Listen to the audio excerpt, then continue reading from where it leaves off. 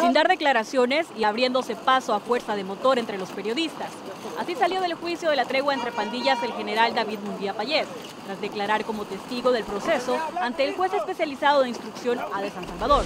Esta fue la única imagen del ministro de la Defensa en el estrado, publicada por la Fiscalía General de la República. No hubo más acceso para las cámaras. Sin embargo, citamos textualmente algunas declaraciones del entonces ministro de Justicia y Seguridad. Sostuvo que este proceso lo avaló el Ministerio de Justicia con autorización de la Presidencia de la República. Al ser cuestionado por la Fiscalía sobre los beneficios que recibieron los pandilleros por disminuir el índice de homicidios, respondió, que yo sepa, ninguno. Todas las decisiones que se tomaron estaban de acuerdo a la ley, y eso no lo considero beneficio. Ante la pregunta de qué recibía a cambio Raúl Mijango, el general respondió que absolutamente nada. Tras ser cuestionado sobre quién designó a Raúl Mijango como representante de la sociedad civil en el proceso, dijo, no tengo idea. Afirmó que la iniciativa de la tregua fue propuesta por Raúl Mijango y posteriormente trasladada al expresidente de la República, Mauricio Funes. Le pedí audiencia, le comuniqué de forma verbal. Consideré que no era necesario hacerlo por escrito por las operaciones de inteligencia. Aseguró que la tregua fue una política de Estado y dijo, algunas de las políticas de gobierno no quedan registradas, sino que son estratégicas. Una investigación que no está cerrada y que el titular de la institución este día dijo que se iba a seguir investigando, podría incluir a todas aquellas personas que tengan algún grado de vinculación según arroje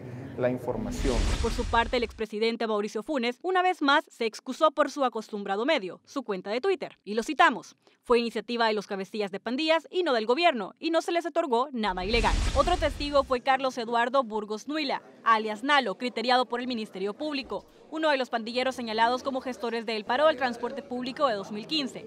Él reveló que durante el pacto, tanto el FMLN como Arena negociaron con las pandillas 18 y MS a cambio de votos en las elecciones presidenciales de 2014. Hubo este, una entrega por parte del FMLN de 150 mil dólares, que posteriormente hubo una segunda entrega del FMLN por 100 mil dólares y hubo una entrega por parte del Partido de Arena de 100 mil dólares. El testigo dijo que en nombre de Arena, el periodista Paolo Luers, quien por cierto ha acudido todo el juicio, entregó 100 mil dólares en una maleta a las pandillas. Es mentira.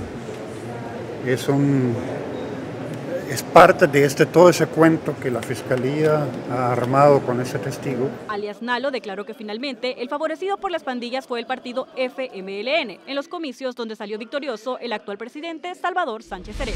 Que los apoyaran con los votos de todos los familiares de los pandilleros a nivel nacional y que además este, les ayudaran en su momento a que el otro partido político este, las personas seguidoras del, del partido político contrario no fueran a votar.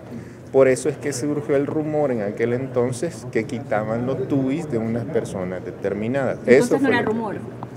El testigo lo acaba de constatar. Sobre esto, la representación fiscal indicó que las investigaciones continúan abiertas, aunque se negó a brindar detalles de quiénes podrían resultar salpicados. La investigación no está cerrada.